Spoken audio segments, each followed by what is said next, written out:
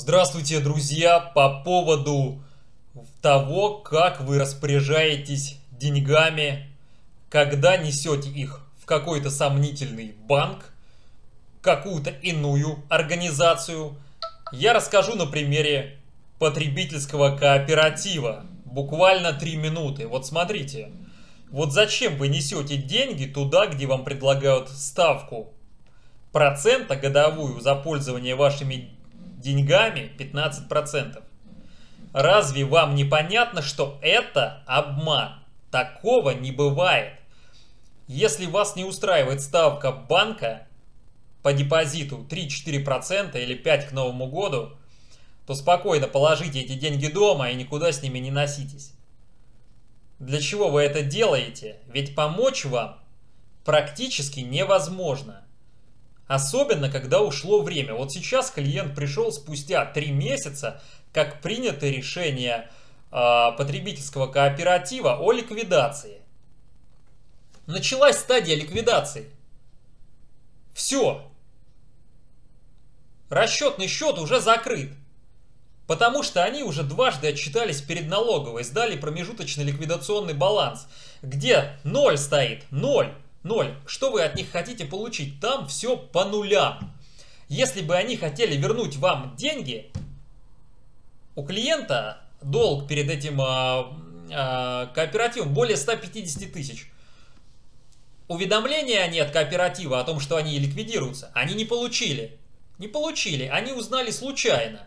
Случайно а, там а, пришли, а офиса нету.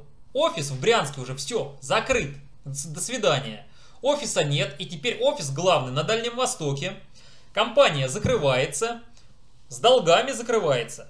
Вот она закроется с долгом, а с кем вы будете судиться?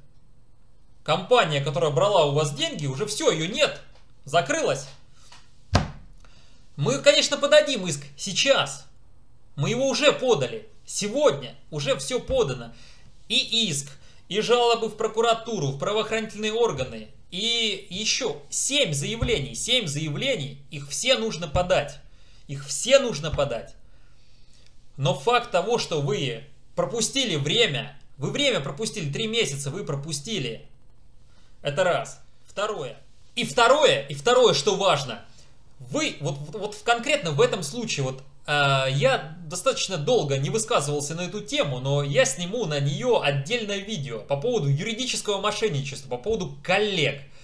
А вот э, э, человек, который ко мне пришел с этой проблемой, говорит, я вот обратился, вот мне составили такие заявления, я говорю, да а что ты не отправлял эти заявления, время-то идет, время идет. А он говорит, ну ты знаешь, я вот тут думал, думал, раздумывал, красиво все оформлено, красивые заявления, говорит, обратился к юристам.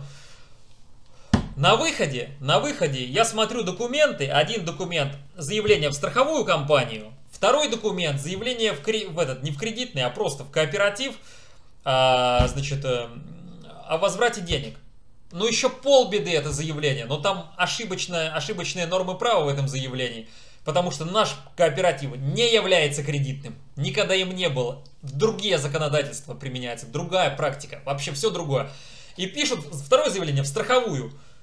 Какую страховую вы пишете? Эти, эти э, деньги не застрахованные а ссылка в договоре на какое-то общество взаимного страхования, которое тоже является кооперативом. И учреждено это страховое общество этим же самым кооперативом. Какие деньги? О чем речь? Тут, короче, в общем, друзья, э, будьте внимательны, не совершайте таких ошибок, не попадайте. Вот учитесь на этом, на вот этой ошибке учитесь.